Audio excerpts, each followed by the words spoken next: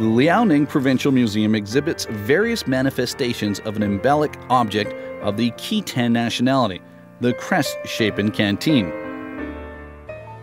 The Khitan is an ancient nationality of northern China. In 907 AD, their leader, Ye Abo Ji, founded the Liao dynasty, which at the time was the mightiest kingdom in northern China. The early Khitans were a nation of nomadic herdsmen for whom the horse, the sword, and the leather canteen were indispensable. The latter was used for carrying water and liquor and would become the model for the crest shaped canteen. The old leather canteen was conveniently portable. However, it was difficult to keep water or liquor from going bad when these were carried in it for long periods of time. This problem was overcome when 1,000 years ago, the leather canteen was introduced into the Central Plains during the Tang Dynasty's times. Chinese artisans created porcelain canteens modeled on the leather ones, keeping them portable. However, they also added a handle to their designs, and this innovation received a warm welcome among the Khitans. In 907 AD, after the foundation of the Liao kingdom, its rulers went through great pains to absorb the culture of the Han people, and this led to Han artisans migrating to the Liao kingdom to produce porcelain works.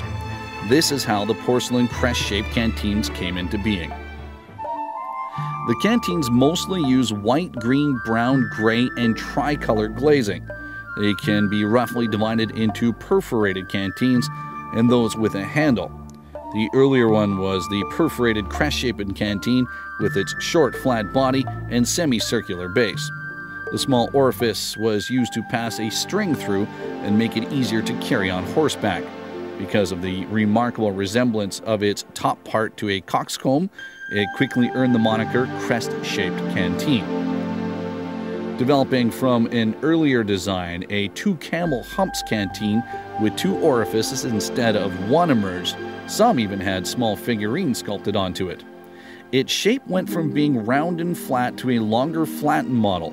One of the orifices was used to secure the lid onto the canteen, while the other retained its original use of fastening it to the horse's back. The crest shaped canteen, with a handle originating in China's Central Plains, and was then incorporated into daily use with the Khitan territories. The earliest canteens with the handle are short, flat, and round. Later, they would gradually grow taller with round circular bodies and an added base at the bottom, which further enriched the piece.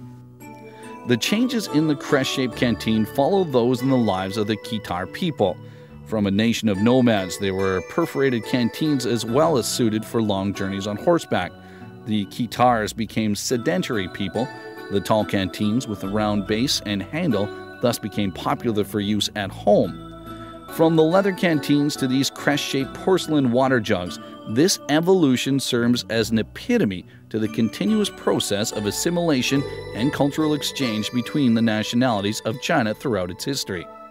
From its appearance, we can grasp how the porcelain canteen retained aspects of the leather one. This dark brown porcelain canteen with two orifices has the stitches and pins of the leather canteen carved into it with astounding realism.